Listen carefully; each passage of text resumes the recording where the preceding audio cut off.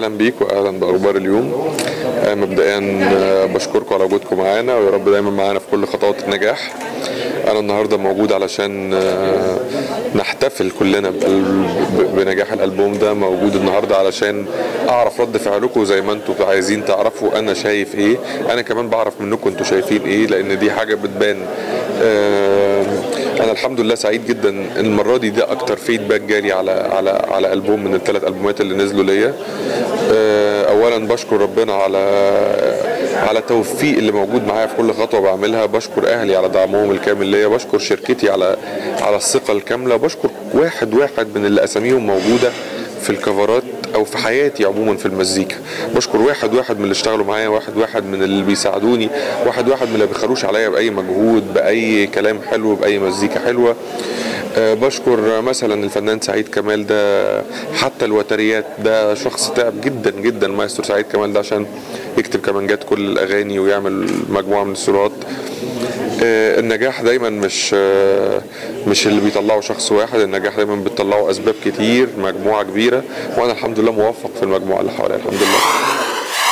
أقول لهم آه، بتعب جدا علشان آه، أعمل ألبوم بتعب جدا علشان آه، بخاف من النجاح اللي اديتهولي بتعب جدا علشان اخرج العمل اللي مجموعة فنانين كبيرة بتتعب فيه علشان تشوفوه. أتمنى يبقى التعب ده كله وصل لكم. أتمنى يبقى الخطوات اللي الواحد بيعملها دي خطوات تحسبوها له خطوات ثابتة. ويا رب دايما نجاح آه، حليفي. ويا رب دايما أنتم موجودين في ظهري. طول ما إحنا آه، ما ننتجه بيعجب الناس بتحس إن الناس مقيماه في حتة حلوة. ده بالنسبة لنا هو ده بنقيسه على إنه نجاح لكن آه، ما- بنحبش إن إحنا نحط آه، فكرة إنه منافسين مع بعض أو مش منافسين مع بعض لأنه في الآخر إحنا بننتج لاكثر من فنان. فال...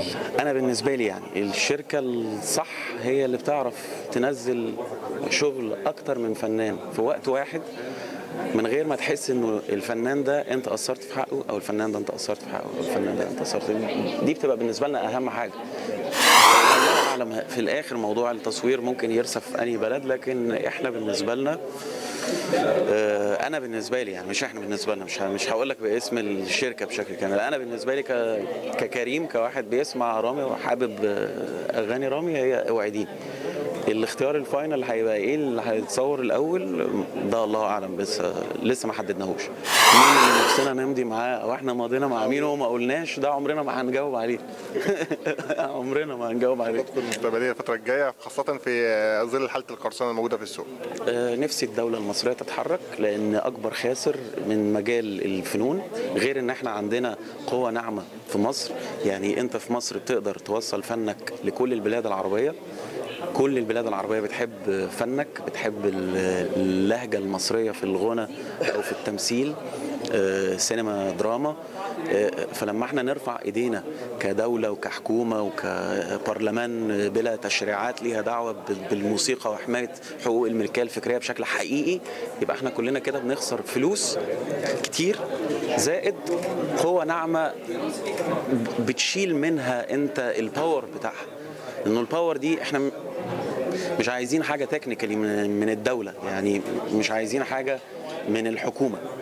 لكن لو الحكومة قدرت تحافظ على الحقوق دي هي نفسها هيطلع لها فلوس من من الضرائب الطبيعية لهذا ال- ال- المنتج. هي هتحس بتقويتها وسندها للقوى الناعمة بتاعتها دي إنها قادرة توصل لبلاد تانية. بوجهات نظرنا نقدر نوصل آرائنا نقدر نوصل كلامنا نقدر نوصل فننا. ده ده مش حاصل من من الدولة للأسف. أتمنى إنه حد يتحرك لأنه الخسارة كبيرة.